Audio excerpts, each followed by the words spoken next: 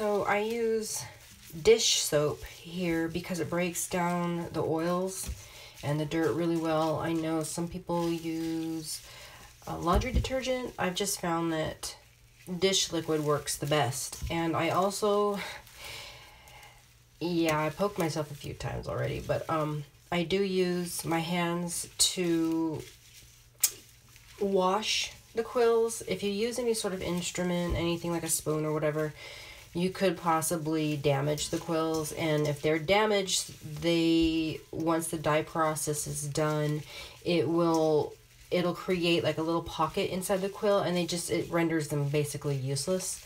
So you really want to when you're cleaning them be as gentle as you possibly can because first you don't want to get quill jammed in your uh, fingers but also because you want to really keep the quills from getting damaged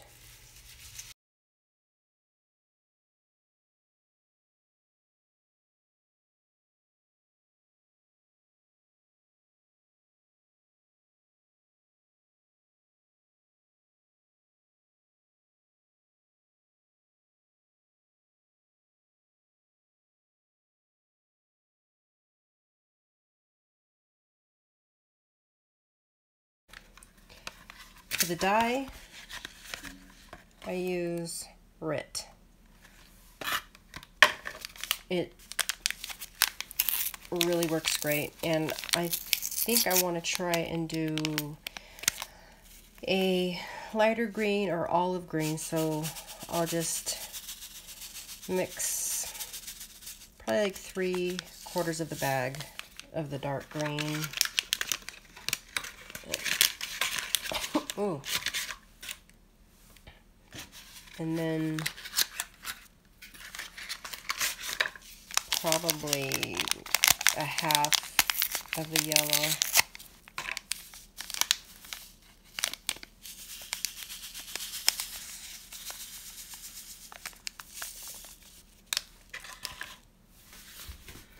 And then you want to turn the heat to really low.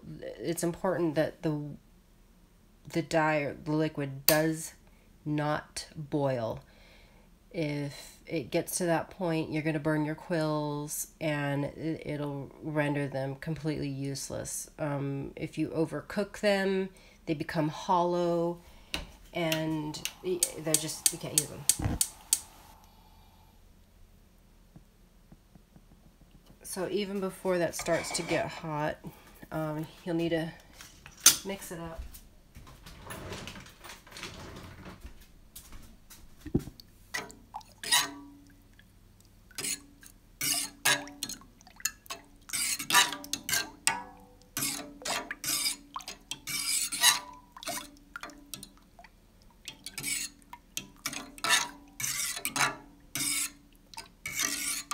You can feel the bottom kind of when it's all um,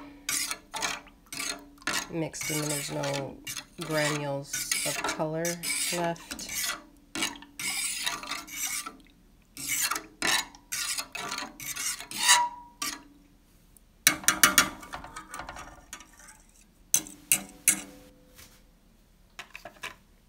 So you can add your freshly cleaned damp quills right straight into it.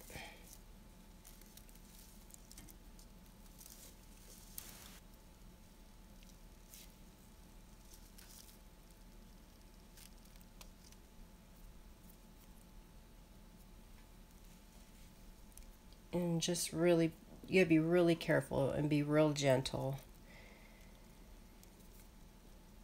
Because at this point they're softened from the cleaning. And you don't want to do the same here. You don't want to bend them or crack them while they're being dyed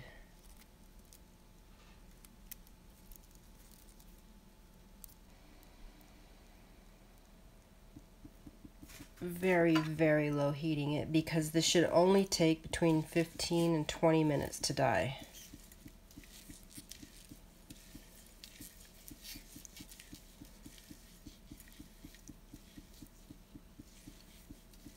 try to submerge them the best you can and probably every five minutes try to flip them so that they get a consistent color on all of them.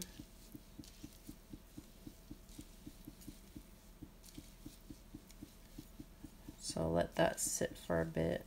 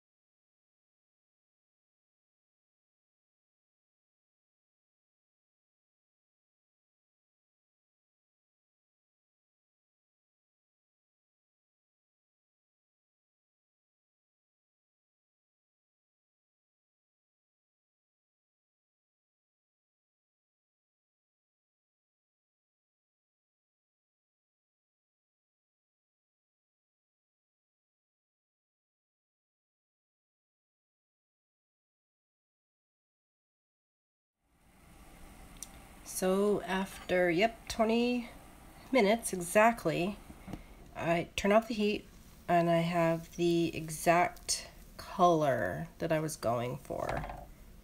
Very olivey, earthy, um, just a really good old looking green. Now it's time to rinse and a lot of rinsing we must do.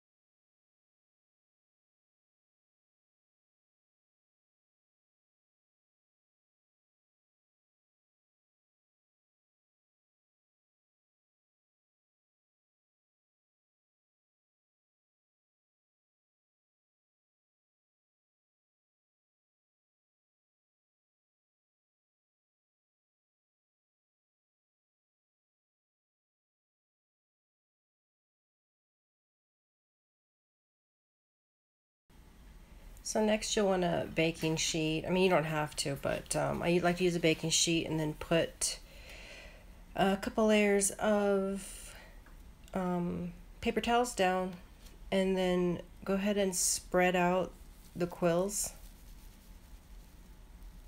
so they can dry overnight. And then I will show you how to quickly sort these out uh, for size.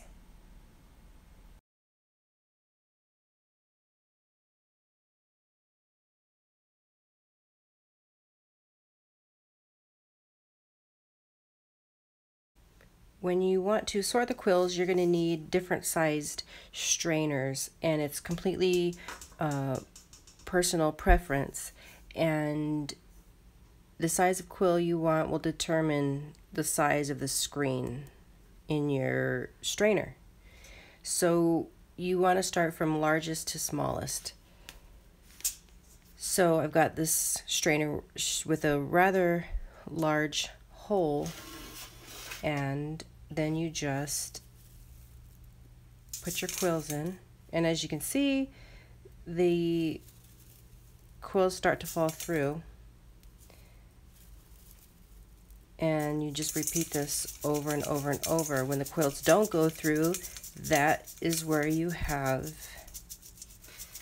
um, your larger ones. And then you can put those aside and just repeat that over and over and over.